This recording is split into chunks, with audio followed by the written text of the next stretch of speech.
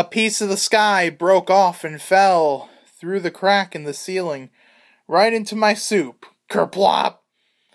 I really must state that I usually hate lentil soup, but I ate every drop.